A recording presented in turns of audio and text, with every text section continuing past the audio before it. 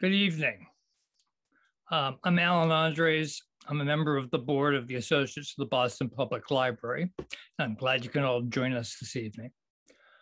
This is the 18th time we've met to celebrate a new Associates of the Boston Public Library Writer in Residence Fellow. Once again, this year, the pandemic is keeping us from meeting in the, in the Boston Public Library's Abbey Room. But your presence tonight is still an essential part of the evening's program. And as we would at a live event at the BPL, you're welcome to ask, ask. questions.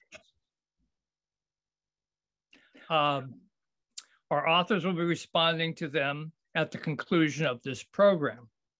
There's a Q&A button down at the bottom of your screen on the right, and you can ask a question some anytime during the program if you want to submit it. Um, despite the pandemic, the Writer in Residence program itself has continued as actively as possible. And this year, we made a few significant developments. More on that in a couple of minutes. But first, a bit about the fellowship itself. Our fellowship remains unique in the world, honoring an emerging writer of literature for children and young adults with financial support and the use of a writer's room of one's own at the Boston Public Library. This year, we are increasing the annual grant to $23,000. And we've added an additional stipend to accommodate editorial support should our recipients uh, wish to avail themselves of such help. The fellowship itself was begun in 2004 as a way for the associates to not only continue its mission to support the BPL's unique special collections, but also to partner with the Boston Public Library in the creation of new work for new readers around the world. It defines the Boston Public Library as a place where books are not only found on its shelves, but where they are actively created by newly recognized writers. As of this date, more than 60 books have been published or are currently under contract by past recipients of the, of the Associates of the Boston Public Library's Writer in Residence program. The books written at the library under the auspices of this program range from historical sagas and graphic novels to fantasies and crime thrillers. Many have won awards from booksellers and literary foundations, and two titles written at the BPL have even been sold to major American filmmaking studios. The coming year we'll see the publication of new books by past writers in residence, such as Elaine Dimopoulos' Turn the Tide, coming from Clarion Books, Annie Hartnett's Unlikely Animals from Random House, and Jennifer DeLeon's Maya from Simon & Schuster.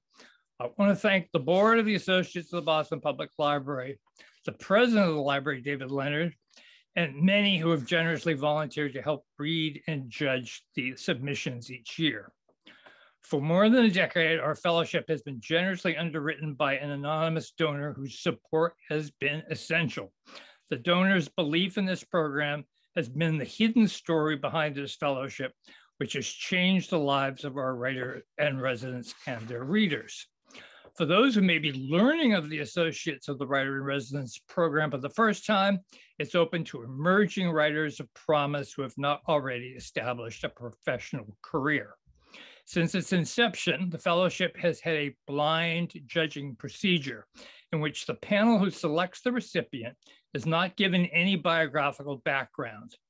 Their judgment is based primarily on the quality of the submission and the promise of the book to be written based on a brief writing sample and a proposal in which they describe the book they intend to write. As the writing, publishing, and teaching community can be fairly interconnected, we insist that if any of the judges suspect they know the identity of any, any of the applicants based on the work in the application, they will recuse themselves from the discussion. Each year, our judging panel is composed of a different assortment of professionals from the book world, acquisitions editors, book critics, historians of children's literature, librarians, literary agents, publishing and marketing veterans, and noted authors. However, we did things somewhat differently this year.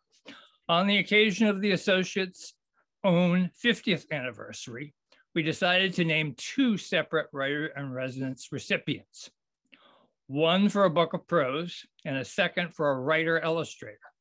10 years earlier, we also honored a writer illustrator. So this is the second time we're doing that. This entailed two separate calls for entries and two separate judging panels. While this is a one-time experiment with two writers in one year, we may consider doing this again in another few years. And in a moment, you'll meet our two new writers in residence.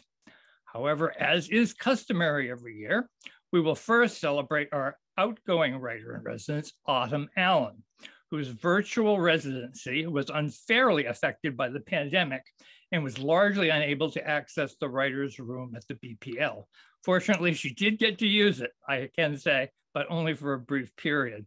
Nevertheless, she forged ahead working on her young adult novel titled All You Have to Do, a story of two generations of Black middle class family told in alternating narrative threads set in April 1968 and the fall of 1995. Here, I welcome Autumn Allen to tell us more about her novel, from which she will read a brief excerpt. Autumn? Thank you so much, Alan. Good evening, everyone. Peace be upon you all. Thank you so much for being here tonight. It's lovely to see all the familiar names in the chat. Um, I have had an amazing experience this year as the writer in residence. Even though I did miss out on having the office at the Copley Library for most of the year, I was able to continue working in my little corner at home. And in the spring, we moved to a house where I now have an office with a door, which is really helpful for writing. And um, I have a view of cows on a pasture, so it's really ideal. So I'm counting my blessings, and I'm also just gonna, you know, keep asking for an IOU from the associates. um, I have had so much support this past year. Um, you know, it's amazing, you know, getting the support from the associates, but also everyone in my life. And so I just want to thank everyone who has been there to cheer me on and, and help me. Um, so after the anonymous donor who makes the residency possible, I'll start with my two special readers, Shonda and Heather. Shonda is my sister who read aloud my entire manuscript to me and Heather. And just watching them react in real time was so valuable um, for my writing process. And it's something I will never forget. And if my manuscript never saw the light of day in the public and publishing, it would have been worth writing it just for that experience. So that was amazing. Thank you, Shonda. Um, I want to thank my brother, Khalil, who generously shared his experiences with me and contributed lyrics um, to include in the manuscript and read the manuscript and I waited with bated breath to see what he would think of it, and he approved. So that was great. Um, my stepfather, Alvin, hosted me in my mom's studio as I started out with the residency when I was kind of like not knowing where to work because the office wasn't available. Um, and he's an artist himself, he's a musician. And so we were always there. He was available to talk about create the creative life and how to, you know, put your art first. Um, and I had other readers who helped me out a lot. My writing group, Women of Words, Kaija, Janaea, Michelle, Yesenia, and Kat, and Chad Bright and Regine Jean Charles, um, who were um, friends from high school who were able to read my manuscript as well and give me feedback. Um, of course, I have to thank my wonderful agent, Tina Dubois, and my wonderful husband, Darren, not necessarily in that order. I'm not sure which order I should have put that in, um, but I'd be hiding under the covers if it weren't for both of them. Um, and of course, uh, not uh, last but not least, I always thank the creator for sending all these opportunities and people and support my way. Um, so I wanted to talk a little bit about what I learned about writing this year, um, because you know the more you practice your craft, the more you learn about the process of writing, not only the process in general, but your own process. Um, so every stage of writing has its own unique joys and challenges. Um, looking back, I see that first drafts are not just the fear of the blank page, but also the freedom to just create whatever you know, whatever you want to create at that time because it, it doesn't have to be seen by anyone else. Um, so next time I go into a first draft, I'm gonna hopefully keep in mind that freedom rather than being sort of uh, anxious and fearful. Um, rewriting is something that can make your brain hurt. um, it really is um, just a process of figuring out what you meant to say and where you have said some of it and then trying to, to boost that up. Um, revising is like putting a puzzle together.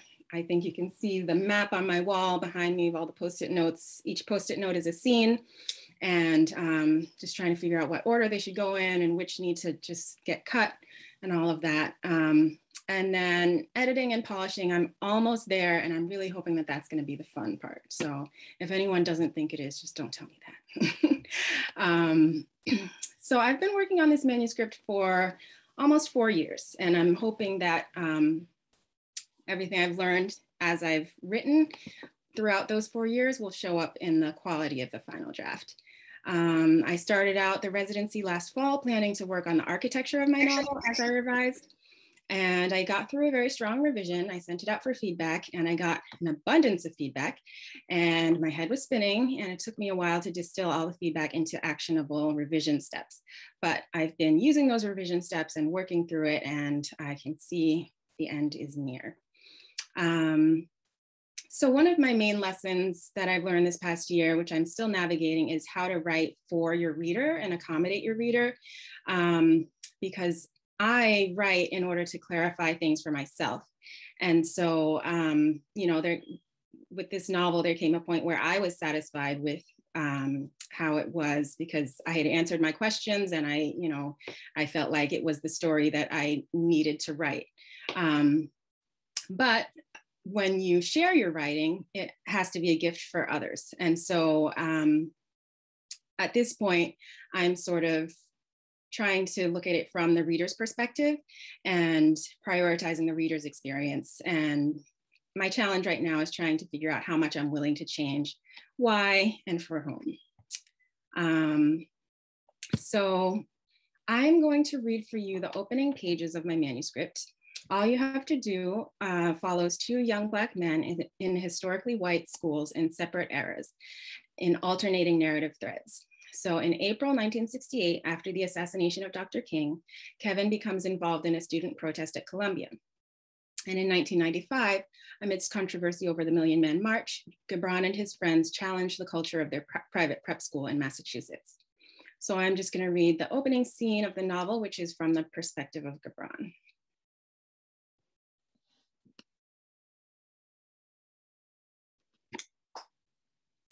The bass is thumping. I can feel it in my bones. It's begging me to bob my head, grin, and shout. In another place, I would get up, my boys in step with me, rush the stage, dance. But in Thatcher Hall at Lakeside Academy, I freeze. Am I shaking? Three boys take the stage and I go deaf, too busy taking in every detail of their appearance to let the music flow into my ears. The bass becomes a confused, muffled noise as my eyes travel every inch of their bodies. The first thing I notice are the shoes, six different shoes, six pairs of sneakers, all mixed up on three pairs of feet. Yellow with red, red with green, green with black. High top sneakers, good ones, expensive ones. The extras discarded. Did they each buy two pairs of sneakers, all for this one night, this one stunt? All on their parents' credit cards, maybe sending their nannies to the mall for them, making them complicit in this? I watch them pace back and forth across the stage, pretending to warm up to the music, acting like they're going to rhyme. I keep watching those sneakers. I know they will never wear them again. They wear baggy jeans, two blue, one black. So baggy, I know they wouldn't be allowed to wear them except as a joke. The jeans are also new, still creased and saturated with dye. Crisp white t-shirts, extra, extra large. The jeans, the shirts, they will never wear these again either. Thick gold chains, at least those have to be fake. And baseball caps. They overlook this detail. They've tucked their hair, straight mouse brown strands and blonde curls, into faded Red Sox caps. Gear a real artist would never wear in public, much less perform in. The contrast is almost funny. But there are the shoes and the walk, an exaggerated pimp walk. Dip hop, dip hop, arms swinging. They march across the stage, a greedy grin on their faces, swaying to a rhythm that doesn't match the bass still rattling my bones. Mics held to their thin lips, their mouths start to move, but I can't hear the words. I can barely hear the muffled laughter of the other white students who look on. I tear my eyes away from the stage and check the audience. The boys' friends are cracking up, shouting, cheering them on. Other white students cover their smiles with one hand, as if they aren't sure they should find this funny. The boys on stage are laughing. Their blue, green, hazel eyes gleam with something that looks sinister to me. They wear a confidence that was never taken from them. I want to steal it now. I can't sit here and witness this, but what can I do? Stop the show? Bash the speakers? Slap the microphones out of their hands? I savor the fantasy, but there are too many witnesses. To be the aggressor in front of the whole school, that would guarantee my expulsion. I wouldn't mind, it could be worth it, if only it weren't for my mother's tears, my family's pleas. You're almost there, Gibran. just graduate, just finish your last year. Like it's easy. No, the longer I'm here, the harder it gets. I look at James on my right. His dark eyes are narrowed, squinting as they follow the boys across the stage. His black eyebrows practically meet, like he's trying to figure out if this is for real. Our eyes meet. David, brown eyes rolled toward the ceiling, hands folded on top of his head like he's holding himself together. He finds our eyes too. We exchange thoughts this way for a minute. Here we go. These dudes, are they serious right now? I look around at the other Black students. The boys who just got here this year look surprised and confused. I shake my head, remembering my first year. The Black sophomores, the juniors, and all of the girls stare at the stage, at the floor, some at the wall, like they're determined not to be provoked. A handful of brown and Black faces and bodies contorted in shapes of discomfort, disbelief, and disgust. They wear it lightly, though, not wanting to cause a scene or put their emotions on display here. They just wait, wait for it to be over. We are all just sitting here suffering, taking it, and none of these white people, students or faculty, are noticing. I can't do it anymore. I get up. I'm just thinking I'll go outside, get some air, wait till this insult is over, and come back. It's not much, it's barely a protest, but it's something. At least I can liberate myself. I get up and I walk toward the auditorium door, and then I see it. The electrical cord from the speaker to the outlet runs right by the door to the hallway, connected by an extension cord. It's an old building, several hundred years old, like most of the buildings at this school, whose prestige comes from its age and its pedigree. The cord catches my eye like a snake on a trail. I pause mid stride. My eyes travel the length of the wire. People accuse me of doing things without thinking. The thing is, though, I'm always thinking. I just calculate differently from them. I think one thing, right or wrong. Is it right for me to let everyone else sit here subjected to this nonsense while I go get some air? No. Is it right for me to stop this show if I can do it without damaging any property or injuring any bodies? Hell yeah. So I continue out the door, but as I go, I bend down and yank the cord out of the wall. The music stops. The roaring in my ears stops. My back feels lighter and my chest opens up. I can breathe better. Maybe I just saved my life. There is a sweet moment of silence before the reactions begin.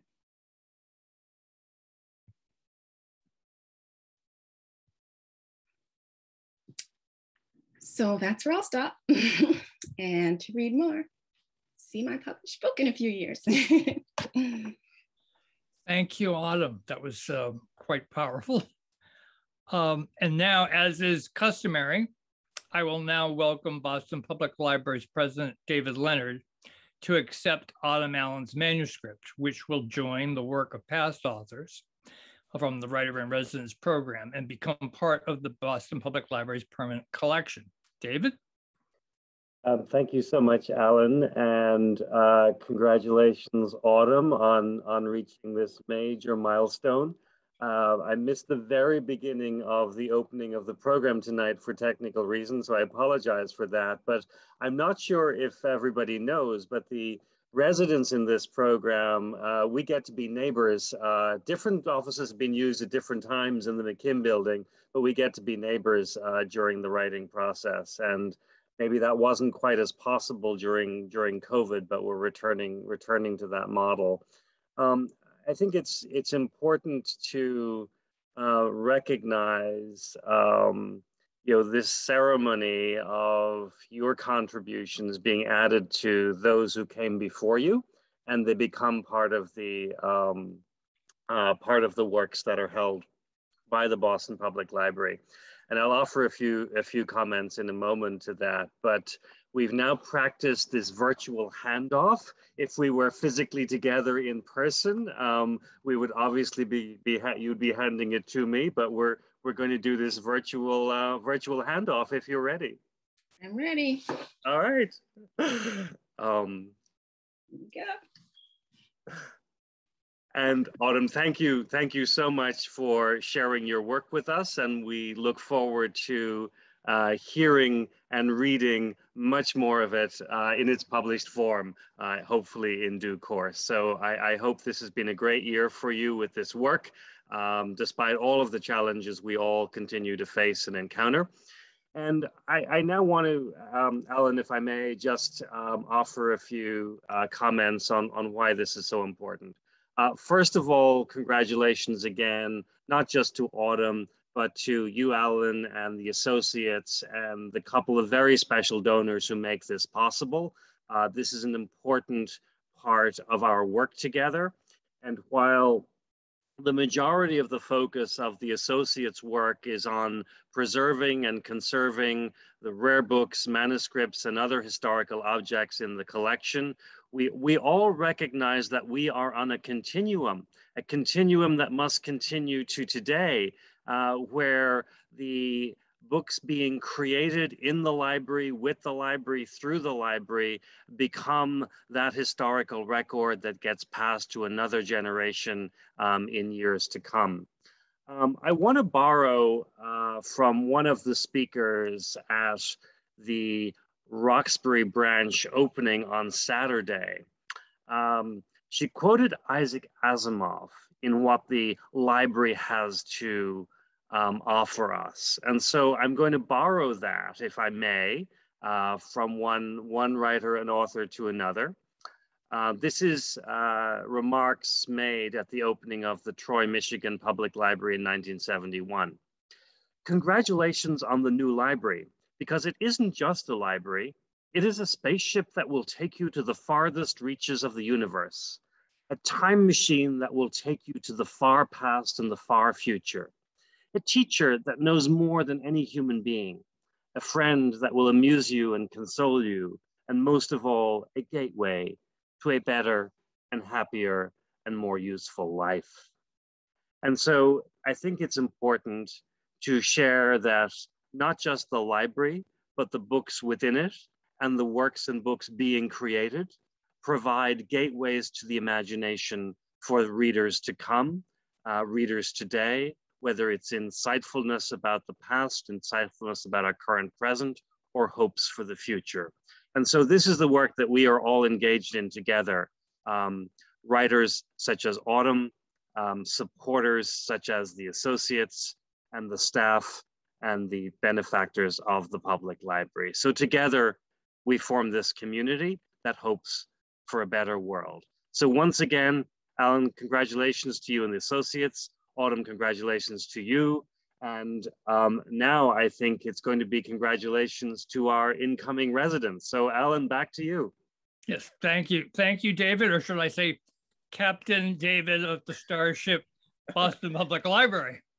Um, this year's um, Fellowship for a Work of Prose goes to Ying-Ju Lai, whose proposed young adult novel titled going to Disneyland is a coming of age story centered on 16, a 16 year old whose parents are wanted by the Chinese government for fraud and bribery. Ying-Ju grew up in Taipei before moving to New England, where she majored in psychology at Wesleyan and studied creative writing at BU. Her work has appeared in Ploughshares and Literary Hub. One of our judges said of her proposal, it feels like a wholly original story that should appeal to a vast number of teens with varying tastes. Perhaps most importantly, though, it's downright fun. Please join me in welcoming Ying-Ju Lai. Thank you, Alan. Um, I want to thank the Associates of Boston Public Library for this amazing opportunity you know, it is really a privilege to have a room of my own at the library, especially after the past year when all of it, all of us struggle to, to find personal spaces. Um, you know, while working from home or taking care of our families. Um, on that note, I also want to thank my family and uh, my teachers and colleagues at Boston University. And lastly, thank you, Kathleen, um, Louisa and Laura of the Associates of Boston Public Library for organizing this event, um, coordinating all the details of the fellowship program and you know making me and Katy feel so welcome at the library. Um, so I started thinking about my novel going to Disneyland about five, six years ago um, when I was just out of graduate school. Um, at the time, I had a part-time job um, where I coached Chinese high school students um, to write college application essays. So those were kids from very wealthy Chinese families who went to boarding schools in um, either the States or the UK, and they were applying to American schools. Um, and there's this, this, this stereotype about um, wealthy children from China or, or, wealthy children everywhere, really. Um, they are they are you know spoiled and lazy they spend money recklessly they are you know they don't have goals in life. You know it, the kids i met um, you know were kind of confirmed that stereotype in a way but there were also just so much more you know most of them left home when they were 13 14 and by the time i met them as seniors in high school you know a lot of them still talk about being lonely or they talk about not fitting in um, with their american classmates. Um, the main character in my novel jia jia liu you know she could have been a student i tutored back then. You know in the first chapter she finds out that her parents have lost their fortune her mother has disappeared um, in China, as people sometimes do. Um, and her father had father has escaped to the U.S. and showed up at her boarding school. Um, not to give any give away some you know any part of the plots, but um, but I think you know my character, I think Jia Jia is going to be fine, and I think all the students I tutor would be fine as well. You know, and at some point in their lives, they're going to they're going to to find out what they care about, and they're going to find out what their goals are you know, because I think for kids like that, you know, having experienced loneliness at such a young age and having to be independent, um, really, you know, like they have to develop some kind of resilience and they have to develop depth in their characters. So this novel, I think for me, this novel is my way to understand the teenagers behind, um, you know, the money and the material things um, and the social media and because I have faith in my character, I have faith in um, I have faith in, in, in the students I, I taught. You know, I think they're all going to be fine, and I want to figure out how they will survive spiritually. I want to find out how they will thrive. Um, so now I'm going to read a short excerpt from um, an early chapter in the novel. Here we learn a little bit more about Jia Jia life in China before she came to the US, and we get a sense of the kind of upbringing she has. Long before Jia Jia's parents became rich with real money, they had mastered the art of appearing rich. Act as if you fly first class, they like to say, and you would start to think like people who fly first class. More important, you would build connections with people who had access to exclusive lounges at the airport and received complimentary champagne on the plane. Once those people thought you were also rich, they would give you opportunities to make money because they assume you would do the same for them. For many years, Jia Jia and her parents lived in the smallest apartment in the tallest, shiniest building in Changsha, a city of 7 million in south central China. Their living room was filled with things. It bulged with two rooms worth of furniture and three rooms worth of clothes, shoes, and bags that spilled out from her mother's closet. Most of those were fake designer goods, but they weren't ordinary fake Chanel jackets, Louis Vuitton bags, and Prada shoes. The people who made them were some of the most skilled craftsmen in China, her mother said. And they only sold the counterfeit goods to respectable people the fact that Jia Jia's mother was allowed to buy them was a sign of her status. It proved how well connected she was. Whenever she bought a new Chanel bag or a new Versace skirt, she and Jia would compare them with pictures of the real things. They would agree that the fake bag and skirt and shoes looked better than the real ones. The brass buckles on the bag were shinier, the logos bigger, and the stilettos' red soles looked redder Jiajia's mother was a real estate agent. She took calls from her clients day and night, whispering sweet promises of south-facing windows, auspicious feng shui, nationally ranked school district, and happiness and love that would be the natural products of those perfect houses. Jiajia's father sold stainless steel window security bars to homeowners. He convinced people to buy his products by issuing warnings about gang activities, drug addicts, thieves, rapists, murderers, and the unspeakable dangers they must guard themselves against. Next to money, connection was the most important thing in life, Jiajia's parents said. Connecting with the real people, with people, meant they felt obliged to do favors for you, especially the kind they were not supposed to give. You could connect pe with people by getting them to like you, but you could achieve the same results by making them afraid of you or jealous of you. If they thought they needed you, they might do things for you. It didn't matter if, if whether they really needed you or whether they had reasons to be afraid of you or if they truly liked you. You just have to make them think so. Once in a while, Jiajia wondered what if those people who were supposed to be rich were also pretending to be rich? What if their Chanel bags were also fake? What if those people who bragged about sunbathing in Hawaii in winter and skiing in New Zealand in summer actually spent their vacations sitting at home and watching movies on a small laptop, just like Jiajia and her parents did? If everyone was pretending to be rich in the hope that the others would give them the opportunity to make money and yet no one had the money to share or the opportunity to give. Where was the real money? Jiajia needed not have worried.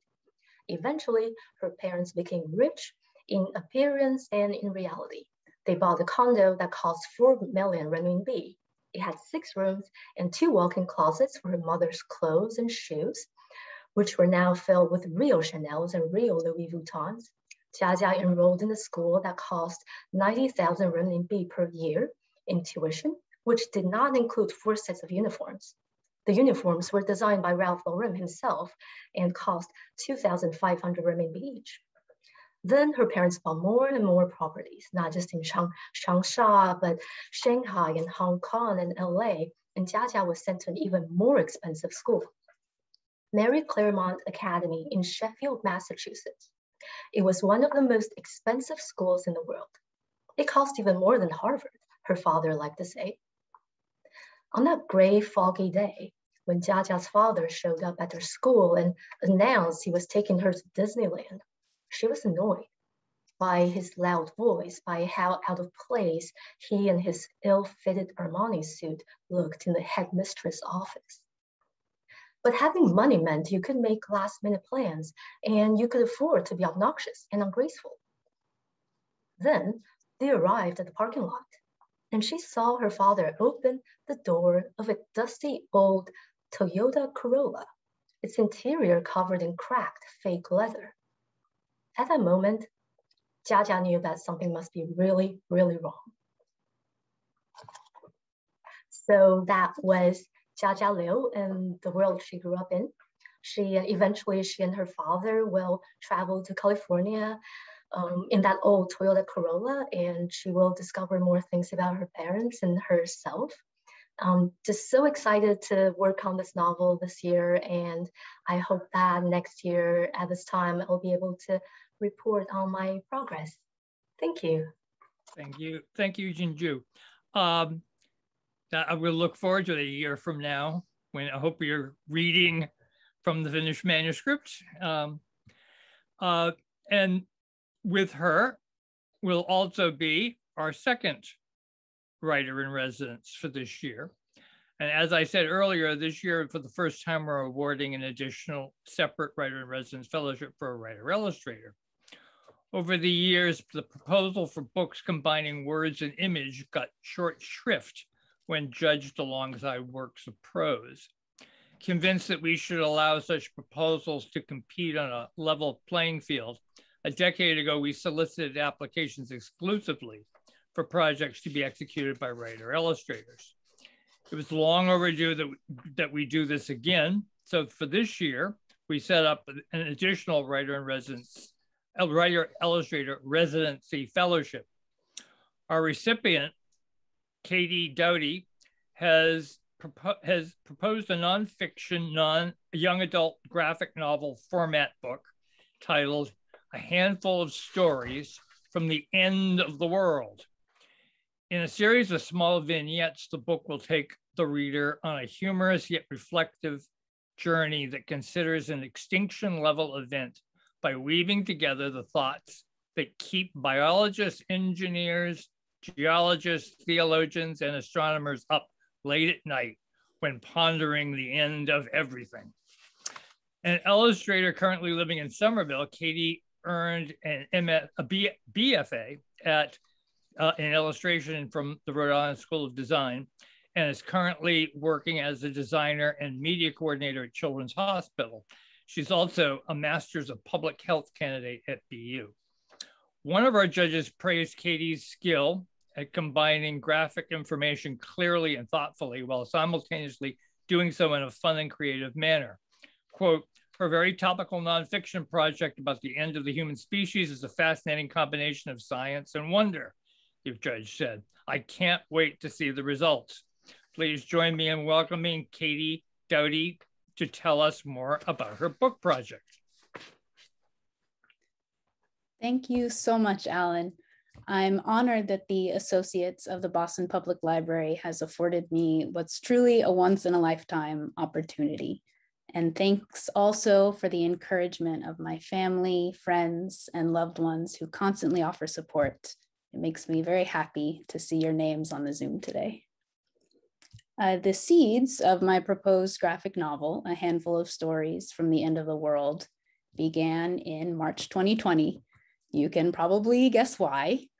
Uh, the first Saturday after Massachusetts announced its first lockdown, I cozied up on my couch with a book I'd been meaning to finish reading called A Short History of Nearly Everything. I'd just gotten to a section that paints a really vivid picture of asteroid impacts on Earth.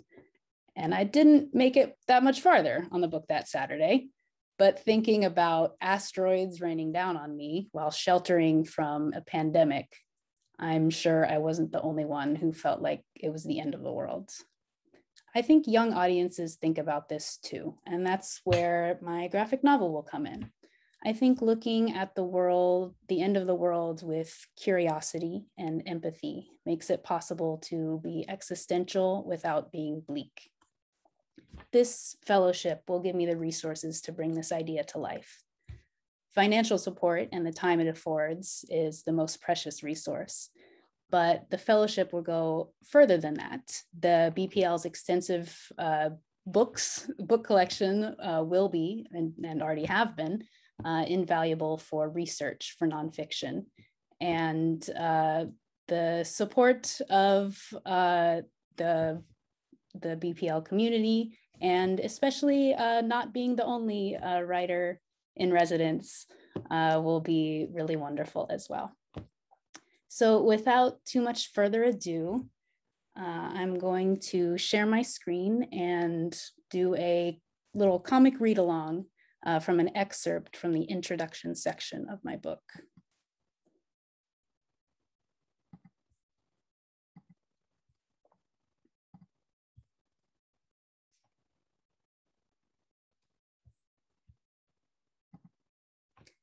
Imagine you're an early European.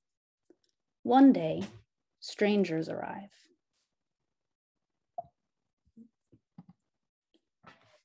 They look like you, maybe a little taller, a little more live, and it seems to you a little more fragile.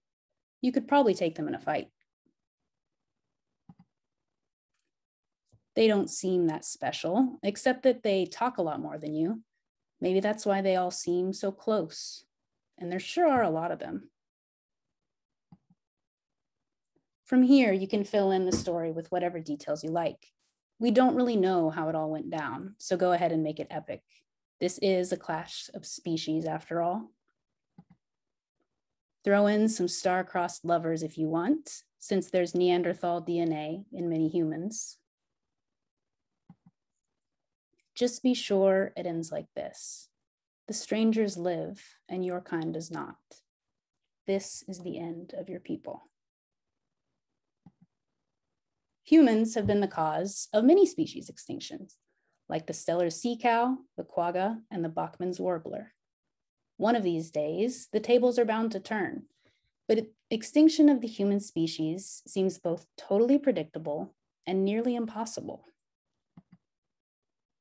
On the one hand, we'd be in good company if we were extinct. 99.9% of all species that have ever lived just aren't around anymore, like gut bacteria, sigillaria, and Ankylosaurus.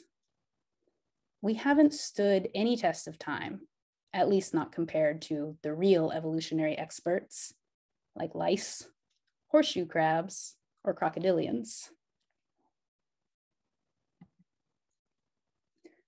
On the other hand, we've bounced back from demographic disasters that might have seemed at the time to be the end of the world. The Ice Age, the Bronze Age collapse, and the Black Death. We can communicate with each other with clarity and complexity, even across thousands of years. We can work together to get ourselves in places no other species has managed. And it only takes a handful of members to keep the species going. The lowest the population has ever been was about 75,000 years ago, when there were only 10,000 people on Earth. That's about the number who would fit in a block like you see. But geneticists estimate that we could bounce back from a group of only 1,000. If you plan it right, 98 is enough to keep a space crew going for 6,300 years to Proxima Centauri. And 70 people settled the entirety of prehistoric North America. Thanks so much for reading along with my comic. And hopefully, uh, if you tune in a year later, I'll have more to show you. Thank you, Katy. Uh, I you did probably didn't see this when you were working your screens, but there was one little chat thing that came up and said, "This is so cool," which is kind of nice to see. That's one thing we don't get in the, in the live audience because everybody holds holds their mouth. Anyway, it's um, now my pleasure to introduce the Associate's Communications and Development Associate, Kathleen Pendleton, who's been gathering your questions submitted during the program and who she will field them to our honorees. So Kathleen. Hi, everybody. If anyone has any questions, please feel free to add them to the, the uh, Q&A box down below. Uh, we'd love to, to hear them.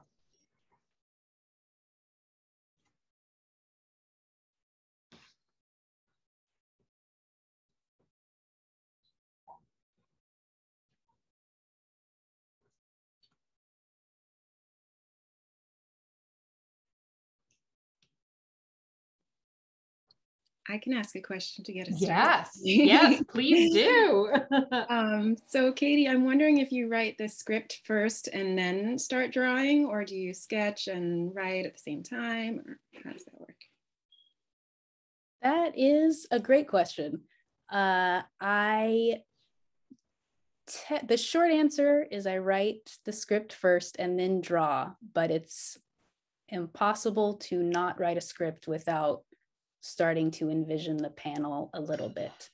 So I uh, typically the the writing process involves thinking of a little bit of a panel structure for the first go around and then the second go around is starting to lay out what text is going to go where there's lots of lots of iterations of combining the interplay between word and text so I think we, we have a question that came in um, and it's for all the writers. So we'll start with uh, Ying-Ju. Uh, where do you get your motivation?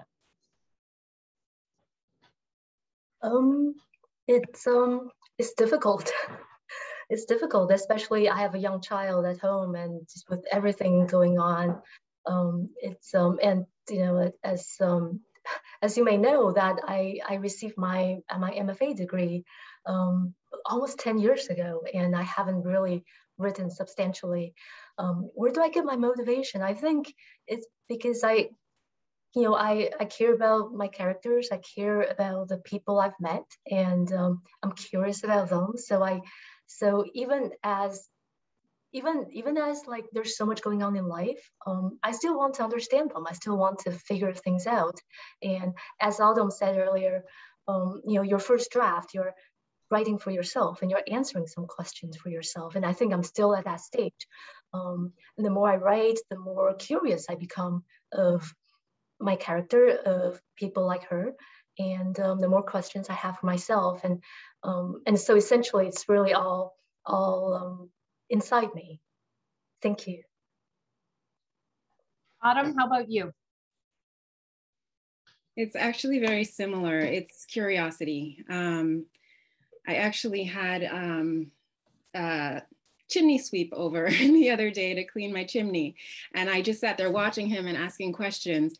And he said, You seem really curious. and I was like, yeah, I guess I am. I am just a curious person and I am always wondering how things work. And, you know, if I, you know, know someone who acts in a way that I would never act, it, you know, I, I think about it until I can somehow conceive of how it's possible.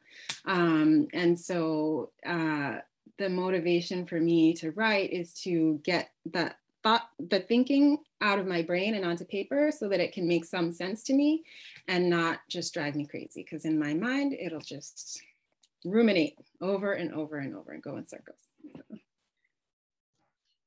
Um, Katy, we have a question for you. Um, the graphic novel is a much misunderstood genre. The words are so few. How do you ensure that they encapsulate so much meaning and the right and at the right vocabulary level?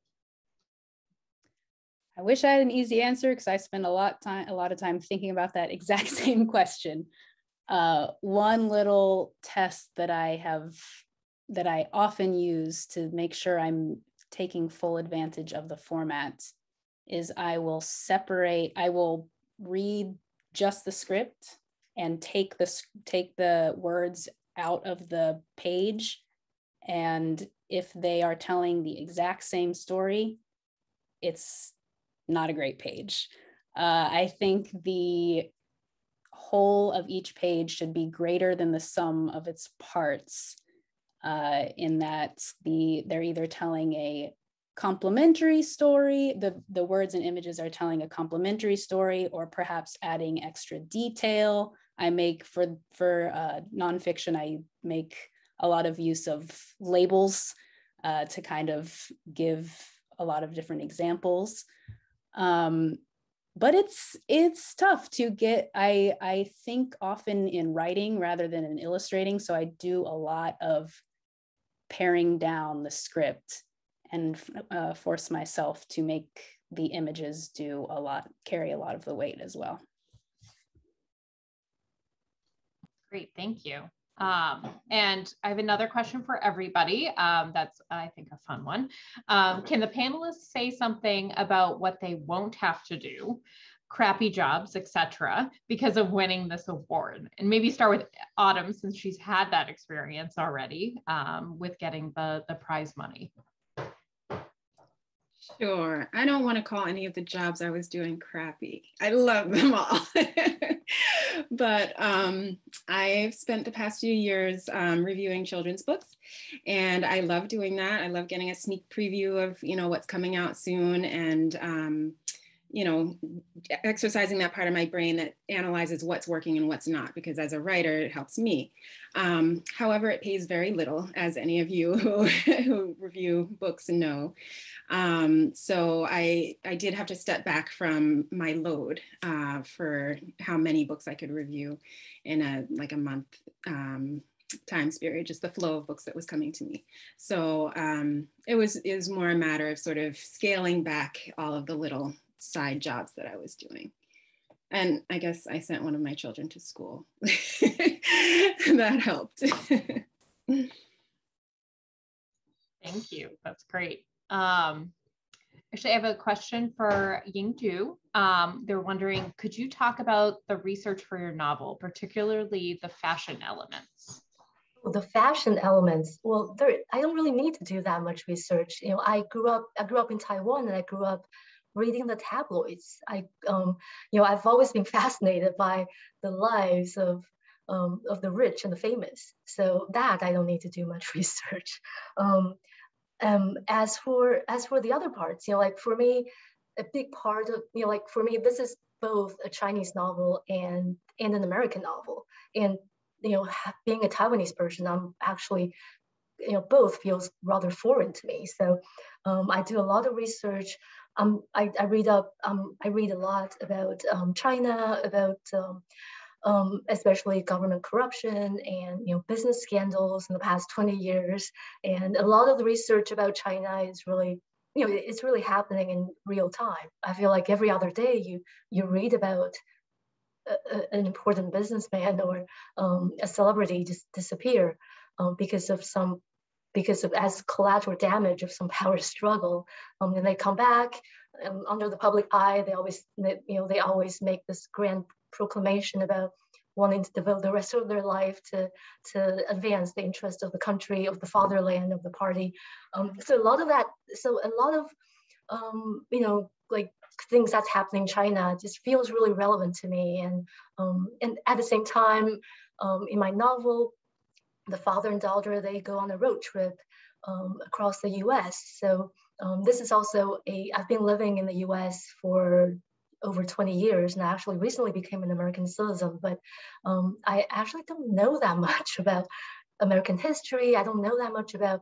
the US you know what what the people are like, what the culture is like between um, the West and the East Coast, you know, what's in between, I, I don't really have, I don't really know very well. So I'm also reading up on that, on, um, you know, the, the, the, the, the fracking culture in, in, in North Dakota. I'm reading about um, cults in, in America. So it, it's just really exciting for me. For it's almost as if, you know, as my character is learning about herself, learning about the US, I'm also learning with her in a way. That's great. Thank you. Um, Katy, what are some things that uh, you want your young audience to glean from your novel, and how are you hoping to impact them, especially with such an interesting topic as the end of the world is?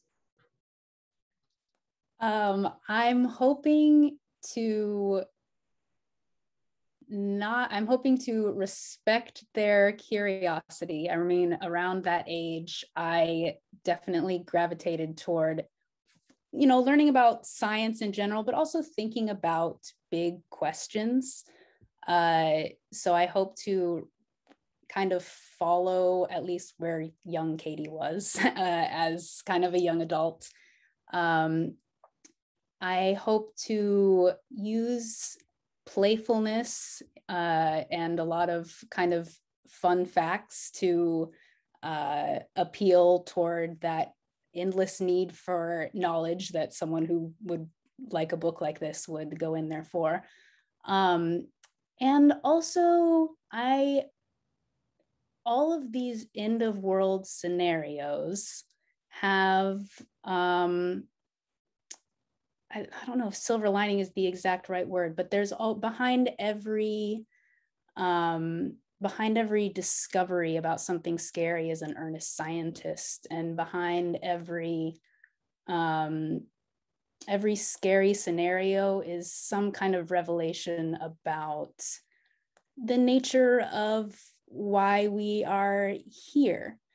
Um, honestly, this was a this is a a big and scary topic and one piece of media that uh, I look to when thinking, can you do this in a nice way? Is if anyone has seen The Good Place, the the tears that I had for the finale of The Good Place, uh, I think uh, there's a there's a kind of um, there's a kind of peace that and perspective that comes from looking at things that are so big and scary that I think uh, young, especially as young audiences, the, the big thing I'm thinking of for a young that scares a lot of young people and everyone is uh, climate change.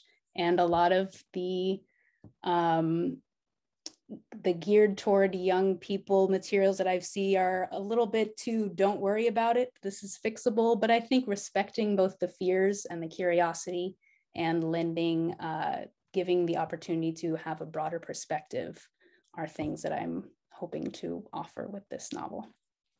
That's great. As somebody said in the chat, I think these scenarios bring hope as well. So they do. And a lot of one historical thing is a lot of these in the world scenarios are not new. They have happened before and people came out uh, doing okay.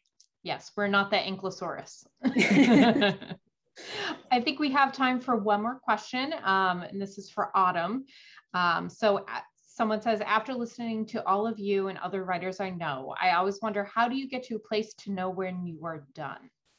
And since you've just finished your work, how did you know when you felt like this is a good stopping spot? This is where I'm done? Well, you're never done. I was done in April, but I don't know if Tina is still here. She did not agree with me. That's my agent. Um, so, you know, you may feel that you're done. You may feel that you accomplished what you needed to accomplish, but um, other people then come into the process to, you know, if you're trying to publish, they help you to see what is going to be seen from the other side from someone who hasn't worked on this piece for four years and someone who you know um, is just going to pick it up read the first page and decide whether to continue or not. So um, it's it's you you decide when you are satisfied and when you think that you can't make it any better, um, someone else has to. And so um, my agent is still trying to convince me that I can make it better. And I'm not sure I believe her, but we'll see. Thanks. And I think that's great advice for Katy and Ying-Ju as well. So thank you for that. Um, Alan, back to you. Yes, thank you. Thank you, Kathleen. And so this concludes our program. We did it actually just a little over an hour. Um, congratulations to all our honorees and all our past writers and residents. We look forward to seeing everyone next year and in person. If you want to learn more about this program and the mission of the Associates of the Boston Public Library, an independent nonprofit, please go to our website, associatesbpl.org. That's one word, associatesbpl.org. And with that, I wish you all a good evening and thank you for coming.